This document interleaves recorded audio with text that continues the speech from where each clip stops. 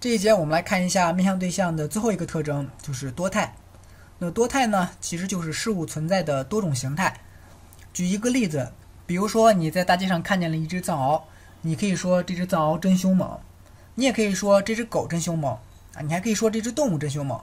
这三种说法都没有问题啊，指的其实都是这只藏獒，只不过呀，它们的范围是不一样的啊。那动物的范围更宽泛一些。那在 Java 里面啊，也是存在多态的。那存在多态呢，要符合三个条件，就是这三个。首先要有继承，然后要有方法重写，然后要有父类引用指向子类对象。只要符合这三个条件，那么我们就可以称为是多态。前两个我们都不陌生，已经学过了。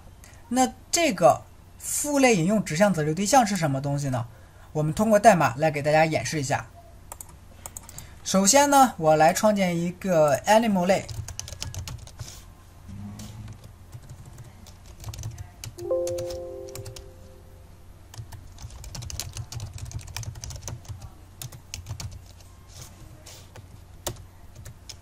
在 animal 类里面呢，我来定义一个成员变量 num，给它赋上一个值十。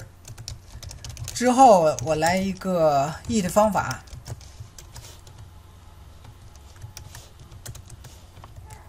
在这里面呢，我打印一条语句，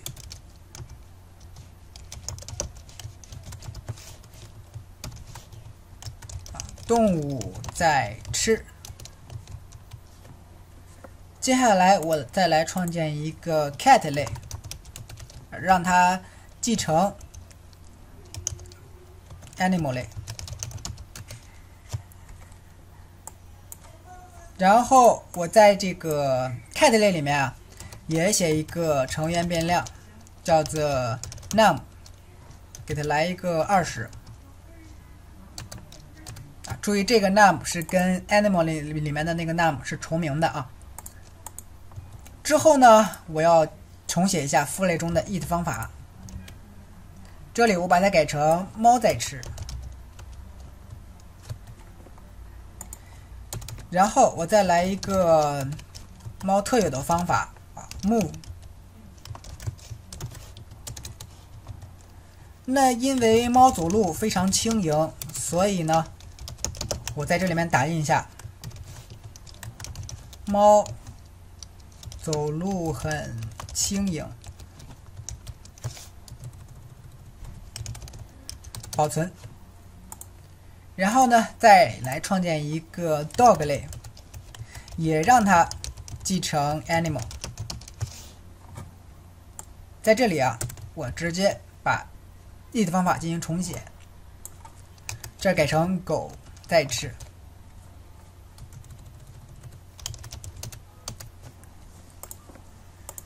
然后再写一个测试类，animal test 零一，保存。在这里呢，我可以创建一个 cat 的对象，new 一个 cat，来一个 c 一吧。我可以通过调用。C 一里面的 E 的方法啊，让它打印一下。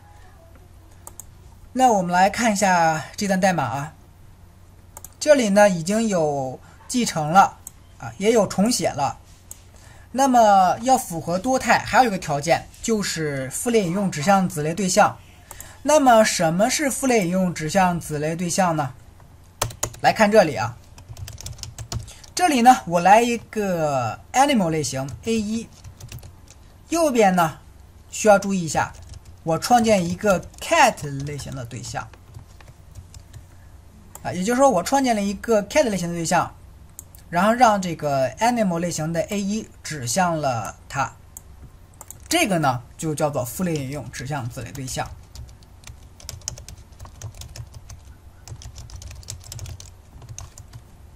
我们看啊，首先，animal 是 cat 的父类。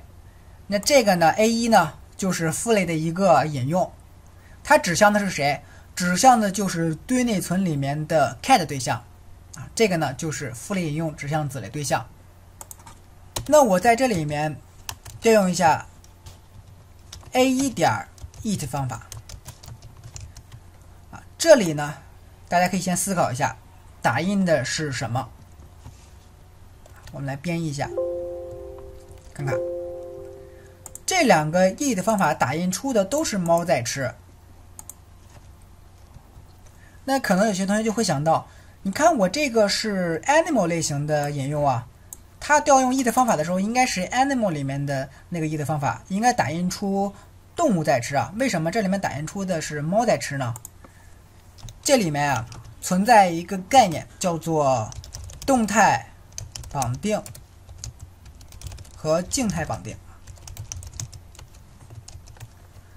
来看这个程序。首先，我们在编译阶段啊，我们 Java 程序分为编译阶段和运行阶段。在编译阶段，程序会把这个 it 方法啊当做是 animal 里面的 it 方法啊。注意，这是编译阶段。这个时候呢，我们叫做静态绑定。当我们程序在运行的时候，运行到这里的时候，它会发现这个 a1 指向的其实是 cat 对象。所以呢，它会把这个 it 方法啊变成 cat 里面的 it 方法，这个呢就叫做动态绑定。所以啊，这里面的 it 方法打印出的是猫在吃。那接下来呢，我想在这里面打印一下 num 啊，我通过调用 a 一点 num。这个大家想一下啊，打印的值是多少？我 animal 里面的 num 是十，cat 里面的 num 是二十。先思考一下，打印的值是多少？